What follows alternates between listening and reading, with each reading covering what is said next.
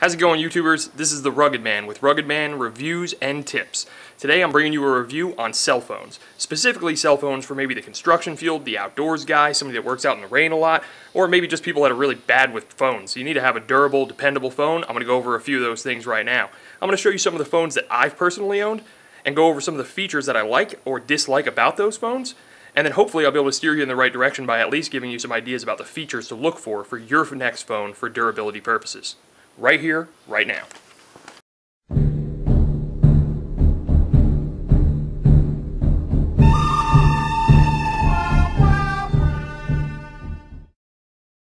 I have some of the phones that I've owned throughout the years here. Uh, I'm going to go over some of the quick things with you here. HTC One M8.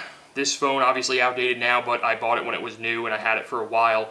Uh, not, not a bad phone by any means not necessarily the most rugged and durable phone. So as you can tell, it's a very sleek designed phone. I'm going to cover some of the serial numbers and stuff here and show you the back. It's got a metal casing and stuff. A very nice looking phone. It was a very nice operating phone as well, don't get me wrong. I'm going to talk about the pros first. The graphics of the phone, fantastic, full definition display. The display itself, vibrant colors, great quality. Uh, the processing speed of this phone was top notch when I when I when I bought it. It was definitely very very quick, responsive phone. Never slow, lagged out, just switching screens. Could play YouTube with a click. Never had a loading time. Very very nice. Um, now games, fantastic for games and videos. This is a very big pro to me was that the speakers were in front. So you can see the speakers are in front. They have a lot of uh, you know open space for that speaker speaker to aerate through. Kind of you know very nice to be watching a video and have those speakers aimed at you. You don't have to do that little like cup maneuver or stick it in a glass or something. So that was fantastic feature of the phone. There was a lot of accessories available for this phone when it was brand new. HTC is very good about that. They're a top of the line phone company. You know, uh, Samsung HTC, here's a Samsung for you. But Samsung HTC, top of the line phones, a lot of accessories. Now to make this phone a little more durable, when I had it, I you know bought the OtterBox for it. It very much helped with the you know the the dropping of the phone and stuff like that, but by no means is it waterproof. So at the time of me purchasing this phone, I was selling auto parts sitting at a desk or a counter all day. So I didn't need it to be as rugged and durable as when I switched my jobs and I still had this phone. I work outside doing apartment maintenance, so I'm constantly going back and forth between apartment buildings. I'm outside a lot. Um, and here in southwest Florida, it's muggy, it's hot. In our rainy season, every single day you get pounded with rain for like at least an hour, and it will be like a straight up downpour. After that, it'll all dry up because the sun comes right back out. But that doesn't mean that my phone's going to dry up in my wet pants pocket. So, as an alternative, if you happen to have a phone like this that you like using, and it happens to not be waterproof, even though a lot newer phones are being waterproof and sleek design, or at least water resistant as they call it now, um, which is what they should call it, honestly. But if you do have something like that that you want to protect against all this, you know, water and stuff like that, just a little extra, even if it is already water resistant, this is something that I purchased for like $10, six, six to $10 at Walmart. I forget exactly what it was. It's made by a company called Atwood that I haven't heard of. Just a waterproof phone box. Has a waterproof seal. Seals nice into here. You just pop your phone in there, close it up, it does have some movement to it, so it can move around in there quite a bit. The OtterBox would help that, of course, but you might scratch your phone up in here if you don't have some kind of, some kind of protection on it. But it is 100% waterproof. So this is something that I would recommend if you, if you want extra protection. I even take my phones that are supposed to be 100% waterproof and put them in here when it really does downpour rain here just because I don't trust it 100%. I'm not the guy that's going to throw these phones in the sink to show you how well they work. Um, now, of course, when that's in that box, you can't hear that thing ring. That that box is pretty pretty well closed. I mean, unless you're really listening for it. But if you're like on a golf cart or in a car, you're not gonna hear it ring. So that is definitely one downside to that part. But now this phone, like I said, fantastic accessories available. Was never really glitchy, had any problems. You know, processing speed was great. Like I said, a, a great phone for what it was. Um, I would say this is like a business type phone. You know, this is something it's going to sit on your counter or in your pocket, and that's pretty much it. But the downsides to the phone is, is it is fragile as far as if you drop this thing like from three feet off the ground and you hit an edge or something like that, maybe with the OtterBox on it, it helps quite a bit. but it will definitely probably do some damage to this phone. This, uh, this unibody is like an aluminum kind of metal of some sort. Um, it is not the most durable thing in the world. So uh, fragile, kind of a delicate phone. Um, not waterproof, not dustproof. Unibody, like I said, which to me is a, is a con. Some people like it. I'm sure it probably adds to the durability of being waterproof when they do make these newer phones waterproof with a unibody. But um, I would have to say that the unibody is a downfall just because if this battery life starts to go or something, I can't access the battery to change it unless I take it to a shop or something. If, uh, if for some reason I want to remove the battery and put it back in like if the phone does freeze or something, which I think I've only had a couple times that it froze and I had to like hold certain buttons to kind of factory boot it. But you know, that that is a downfall for me. I can't take the battery out. I don't like that too much. Um, you know, not something that I enjoy. Now the real downsides to this phone, these are like uh, super cons if you would, is these little speaker ports, which I'll try to show you here. They're very, very tiny holes, right? Got uh, quite a few of them too they like to get clogged up with lint from your pocket. So I actually had HTC, uh, HTC, my first one, replaced by AT&T because it was not functioning properly from that. People on the speakerphone, when I was using it, the microphone is in here somewhere and it got clogged up with this, you know, lint from my pocket. And just clogged those speaker ports or those microphone ports. So it made me sound very muffled. Now the speakerphone didn't work very well to begin with this phone. I'd have to kind of still hold it near my face. I couldn't set it down and do my dishes or something. Um, especially background noise made it even worse. So if I was driving or something, it, the speakerphone didn't work well to begin with. It's not that it didn't work, it just didn't, didn't work well. Now, I did have AT&T replace it once, and then I made sure I, every once in a while took a toothbrush and cleaned out that stuff, you know, as best as I could. But even on this one, the speakerphone was never that great you know, it just worked. Now, eventually it was just to the point where I didn't even use it because even if you're holding it right next to your face and there's no background noise, people would still say that you sounded muffled because of course there was like lint or dust caught in there. That is a big downfall to this phone for me and uh, unfortunately it kind of coincides with the forward facing speakers that I like. So um, unless those ports were opened up quite a bit more then you risk damage to the speakers and stuff like that. So that that's pretty much the whole of this phone. As far as uh, the only other downside I'd say was kind of battery life. I mean, it wasn't fantastic battery life, and it wasn't garbage battery life either. But I mean, I definitely, if I you know used the phone frequently throughout the day, I would have to do that like you know three o'clock. Oh my God, I got to charge my phone kind of routine. So I, I, think that's kind of standard on a lot of these smartphones nowadays, though. So I can't really say it was horrible, but it's a con to me. Um, now moving on from that phone, I was looking for a more dur durable phone because of my work change and all that stuff, and I didn't want to have to keep putting it in the waterproof box that I bought and all that good stuff. So I moved on to this phone, which this is a Samsung Galaxy S5. Now I purchased this phone refurbished on Amazon. I didn't buy it brand new. Uh, it's kind of an outdated phone when I already bought it. but, you know, um, as far as software updates, it was up to date for quite a while, not so much anymore. The HTC is definitely a little bit higher up on their software dates, but this was one of their main top phones. This was kind of like a side thought, I think. The, you know, it was a Galaxy S5, but it's the active model. It's for people that are outdoorsy and stuff. And I would, I would say that this is like a semi-outdoorsy person's phone, if I was really going to put it. Like, this is kind of the business person's phone, and this is kind of like, you know, I go hiking on the weekends with my dog and my girlfriend. That's kind of what this is. So, I do like a lot of the features. They kind of put like a little grip on the side here, and it's kind of rugged, and it's cool because it's got the camouflage if you're into that. I mean, I just like green, so that works for me. Um, not not a bad phone by any means, but not not not the best phone in the world either. We'll go over some of the pros. Um, does have the expandable memory. It's of course behind this uh, this piece here, you can get your nail in there if you have nails and pop it open or use a key or something. And it, then you have to make sure you snap it all the way around. You got to run all your finger all the way around to make sure it's snapped in place because that is your waterproofing for your battery pack and everything. So, um, but under here you can put an SD card in it. You know, uh, HTC has a little door that you can put it in there. So they're both expandable memory. Good points on that. This is supposedly waterproof or resistant, whatever you want to call it. Dust proof, you know, dirt resistant, whatever. Uh, that was a pro for me buying it. Now, the active button that these actives have, there's a couple other phones now that even Samsung doesn't make. I think my, you know, there's an LG or something that has an active button.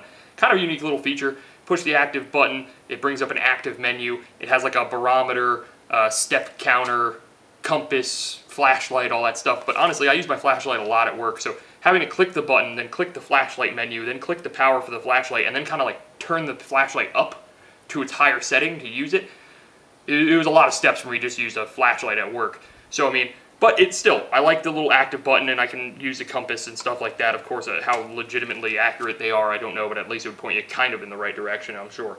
So uh, the style of the phone was also a very big point. I mean, it's it's a cool looking phone. It does seem kind of durable. I mean, you can see the difference of the thickness. It's quite a bit, you know, not a lot, but quite a bit fatter than that HTC side profile, and it's definitely got some more rugged features on it than the HTC does. So that is definitely a, uh, a, a good point for me.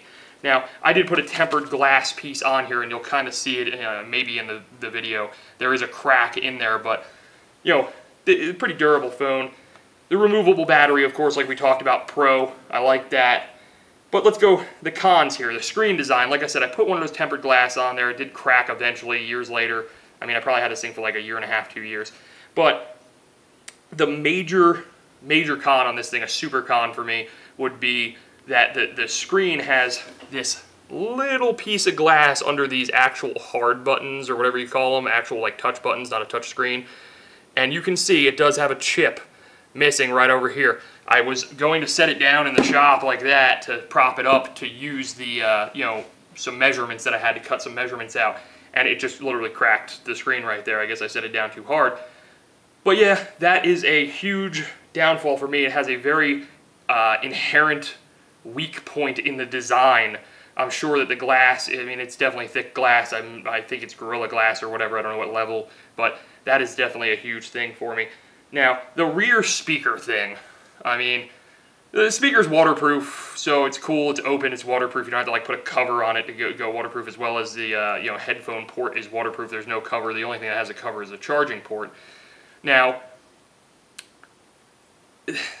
that's the thing though, is that rear speaker, when I'm trying to watch a YouTube video and you gotta cup your hand or, you know, some of them are so low, and I hope that my recordings come out kind of loud that uh, you know, you can hear me, but they're so low, you're like turning your phone, you're not even watching, you gotta go to a mirror to watch it in reverse just to see what's going on. It's just very a horrible, horrible design on that. At least make them excessively loud if you're gonna do that.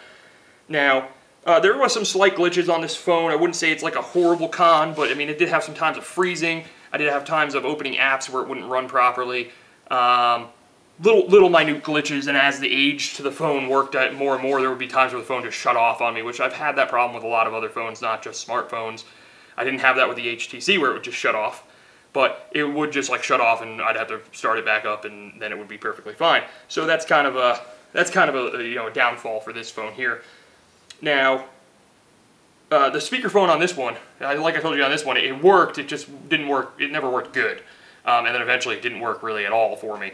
Um, this one never worked right. Now, mind you, I did buy this on Amazon as a refurbed phone, so I'm not condemning the entire Samsung active line uh, based on the S5 refurb that I bought, but I would definitely say that this Samsung's speaker never worked properly. Nobody could hear me on it. I could hear them fine, but they could not hear me on it whatsoever.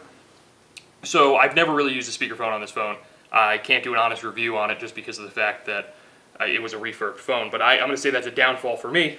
Um, another big downfall is it's not as tough as advertised. This, you know, this, the, it's drop proof from three foot, and I was like six inches off, and crack broke the screen. It just kind of, you know, messed that up for me. Um, at that point, it's not waterproof, it's not dustproof, and that happened about three months after owning it, so I didn't really get to test it in the water, so to speak. So a couple rainy days here and there, that was about it. Um, now, there wasn't as many accessories for this phone. That's another downfall. HTC, you could find extra, uh, accessories for it all day. Um, I was able to get this, uh, I like the American flag case, of course, but it's just like a snap-on case. It didn't have a screen protector. I bought the glass one, um, which kind of done it did its job, but it doesn't cover that downside piece where it's, you know, very, very fragile. So, um, software updates, like I said, not as much as HTC, but I would say battery life was a downfall on this one from the get-go. it had less battery life than the HTC did by far. Um, midway through the day on my lunch break, you know, 12 o'clock or something, I'd be like, oh God, I gotta charge my phone. So it didn't even make it to the 3 o'clock that this thing would. Um, but it, it, it, dropped fast too. I mean, it was to the point where I used to be able to make it till three, and then it was like a, three months in, I cracked the screen, and the battery life was garbage. Now the battery is swappable because I could open it up, but I did not spend the money on it because it was like I'll just plug it on my lunch break. So um, I already planned on getting another phone as soon as I broke that anyway. I was like, okay, this is not as durable as I need. so that's pretty much the Samsung Galaxy S5 active. I've heard that the S6 was roughly similar as far as the phone, and the S7 is a bit more durable. I, I, I don't even know about the S8s because I'm not that rich. So, moving on to my current day phone is the Sonim XP7. Now, a lot of people don't even know what the heck this phone is, but I'm going to go over this phone with you. This is something that came out, I believe, in it was definitely the Canadian market, but it's also the European markets. I think Sonim's based out of America, though.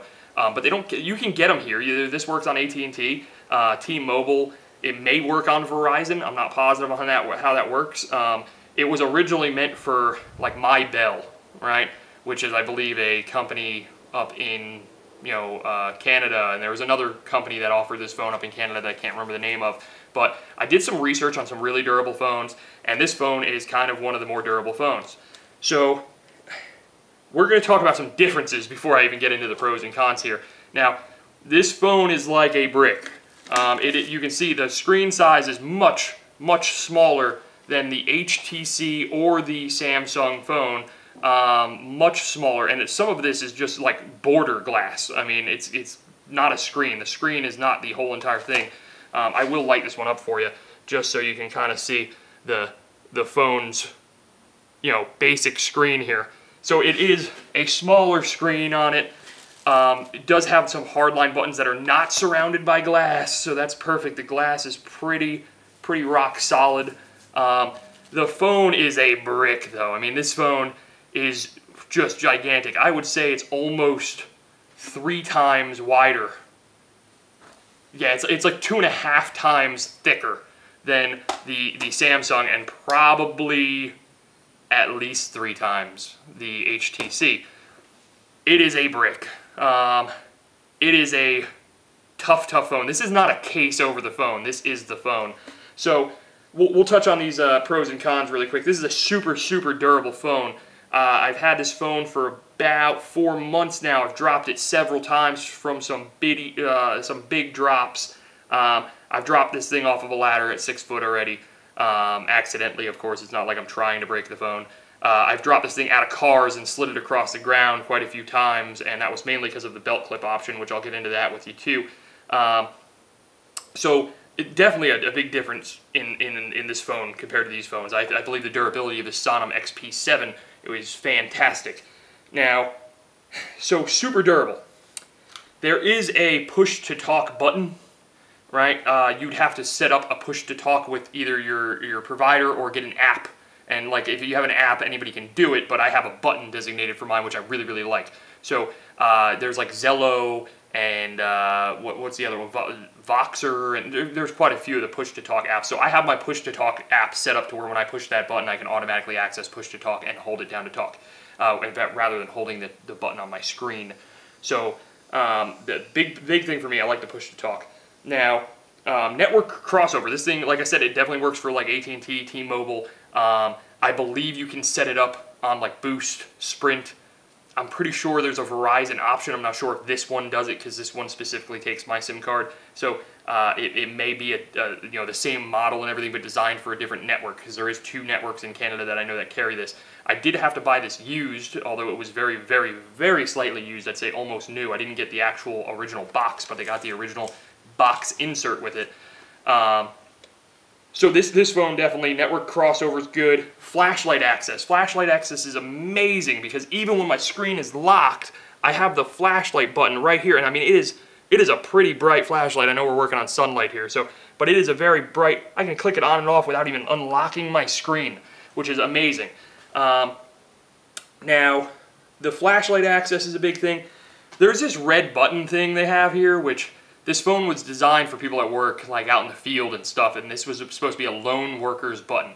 So up in Canada, they do have access to make this button work on the networks that this phone is offered by, but I haven't talked to AT&T or, or T-Mobile or any of them to see if they have access to make this work. Um, but it would be a button that you click and if you're like fall in a well or something like that, and it will send emergency workers to your GPS coordinates. Continuing on with the pros of the Sonim XP7. Uh, the, the charger I do like. I have the car charger out here because my regular charger is in the house for charging purposes. Um, it does have a very specific style magnetic charger that kind of locks in there. I mean, it's not a super magnet or anything, but it is pretty tough. Um, I want to say this is a pro and a con because I really like the charger. It's very durable. Um, you're not going to get dust and debris caught in there that you can't get out and stuff like that like you do with these uh, mini USBs. Um, it, eh, I like that part of the charger. You're not going to find a charger at every store though. So that's why I made sure when I purchased one, I had one that came with a car charger and a house charger. Now the car charger is simply just a USB um, so I can actually still use that inside the house if I ever need to. Now, the speakerphone and the speaker in general. This is a very, very loud phone. Um, to just give you an idea here, um, let me go to my settings really quick here. And go to my sound options.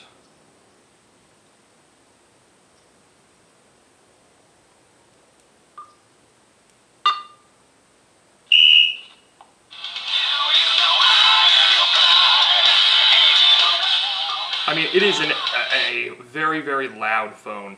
Um, it does work with speakerphone as well being that loud. Uh, extremely loud. I can listen to Pandora at work without using a Bluetooth speaker. Um, fantastic speaker. Um, the microphone for the speakerphone, there is a little microphone down here by the button. I don't know if you can really see that little hole right there. Um, picks up everything lovely. I can talk on the phone while I drive my loud truck, uh, and I have it clipped into the dashboard and stuff like that. Those are all some really, really big points for me as far as uh, uh pros on this phone. Uh, software updates is going to be a con. Switching over to cons quickly. Uh, th this is running like Android 4.4.4, which is severely outdated. I think they're on like 8 or something like that now. Maybe the late 7s. But um, there's a supposedly an update up in Canada for this on their networks for 5.1, um, but that's not a huge deal to me because as long as the phone functions where I can make phone calls, I can use YouTube, I can uh, you know listen to Pandora, maybe like an Instagram account or something, whatever. That's all I really need this for, and it doubles as a hammer if you need to. Although I, I wouldn't suggest trying that because I'm just kidding, but it is very very heavy.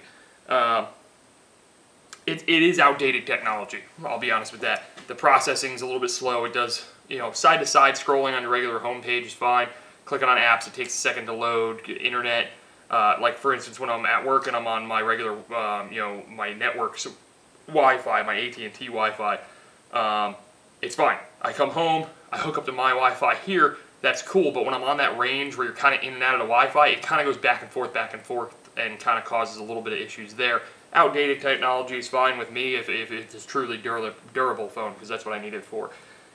Now, uh, like I said, processor's a little bit slower. Um, it, it's a little bit taxing if you're trying to run some newer apps. Yeah, uh, I do run some newer apps and stuff as far as video games on here when I'm just bored, but it, it honestly, I have uh, you know a computer and a PlayStation if I want to play video games. The last con of the Sonim XP7 really being the, the graphics. It's a low resolution. I think on YouTube I'm running like 480 is like maxing it out. Um, it, it, kind of a kind of a pro to me because it makes the battery life last longer and I, I, don't need to watch top of the line video quality all the time. Um, I have TVs in my household for that. So um, there is some compromises to having this phone. Um, the camera, front, the forward facing camera, like if you're looking at it, the screen camera, whatever you want to call that, front facing I believe, the quality is uh, uh, passable, you know, at best. Um, the, the other camera, I can use it to take pictures, but I mean, they're not. It's it's not. I'm using a DSLR uh, shoot right now. The quality is not a DSL uh, DSLR. This is just a camera phone camera. Um, nothing spectacular, but still, nonetheless, compromises with every phone. Now, uh, just to explain to you a couple little features, you can watch some reviews on this phone if you want to do that as well. Um, there is a specialty tool that comes with the phone, so if you're purchasing a used one from Canada like I did, lightly used, whatever, uh, it has the typical pin tool for opening stuff, um, like little push button slots, and then it has like a, a Torx bit. I don't think you're going to really see that much on that screen, but um, a little Torx bit to open up stuff here. Now your, your headphone port is accessible without taking the tab off. It's like a little flexi tab. Uh, pushing it back down to make sure it's waterproof, very important. Um, but to get the SIM card slot open and stuff like that, you do need to uh, you do need to take that completely off. So that is something that if you're going to buy one of these phones, make sure you do have the proper tool set that comes with it, and the tool set snaps in place and does say Sonim on it. You can put it on a lanyard or something if you want to. I leave it at the house. So um, I, like I said, also bought mine with the car charger and home charger just because uh, Sonim does sell the car charger itself by Sonim, USB car charger. Um, I didn't want to go and spend the money on it at Sonim. I just bought one of the phones. It was like another uh, maybe 60 bucks to get the phone with the actual stuff versus the phone without it. Um, it was the belt clip too that kind of sold me on it, which I have a problem inherently with these belt clips. All of them seem to do the same exact thing is if you have it on your belt kind of sideways and you slide into a car that has like a higher lumbar support or whatever, I have a bench seat in my truck so it doesn't give me that problem, you end up snapping this little belt clip off, which when it comes to the, the typical otter boxes, it just snaps off of the plastic and you're done. There's like, unless you're gonna drill holes in it or something, there's no way that you could like kind of fix something else to uh, kind of seat it back in place and use it again for something. Uh, the OtterBox is a fantastic tool, but uh, or, or, accessory, I should say. But honestly, you're, you're not going to have, you're not going to be able to repair that. That's something that the otter box's warranty would come in handy for. Now, with the one from the Sonim, which is a little different, which I'm going to have to use my phone to actually get it off, I still have the belt clip. But when the clip actually broke off, I was able to take a piece of plastic, like pin out of it. You could pinch it and pull the whole clip off. And maybe be able to find an original clip, maybe possibly from Sonim or something. But what I did was I put a leather snap into it. And then I just made a little ringlet for my belt. I put my belt on in the morning and I slide my belt through it and I put that other end of the snap on there. Now, it is quite a bit tougher than the original, but I have managed to break this at least once too. So, but at least here, I just go and put, you know, a, a, dollar's worth of leather snap onto it and rebuild it again. It has not broken the plastic. It usually breaks the snap off of the leather if it breaks anything, which is, um, in my book, perfectly fine and okay and I get a 360 spin now. So, and this phone does not fall out. You can spin it the other way and have it that way too. Although, I, I, like I said, I'm always working and rugged and durability is my key here, so I always face the phone screen in. But with all that being said, hopefully some of these things can help you out on your features about, you know, features to look for on the phone and find if you are in a field that requires you to have a really tough phone, stuff like that. Or maybe you're just watching this because you want to see what I think about these other phones, which I think they all have their place. Um, I believe, honestly, the Sonim is the phone for me. It might not be the phone for you. I would highly recommend looking up some reviews on the phone specifically about just that phone and seeing what you think uh, if you don't mind having some outdated technology in, in the compromise for durability. Now, as far as I'm concerned, that is definitely the phone that I wanted. I've had it for a while now and it has held up fantastic. So uh, I want to thank all of you for your time. And uh, as always, like and subscribe down below. But I'll tell you what, as far as phones go for me, that's rugged.